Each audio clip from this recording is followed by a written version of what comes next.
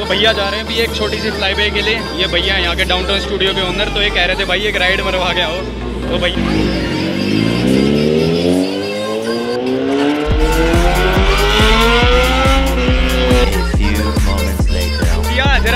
Experience बताओ। पाट के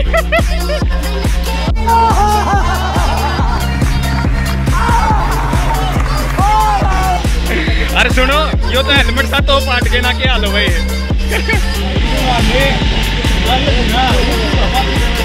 हाँ।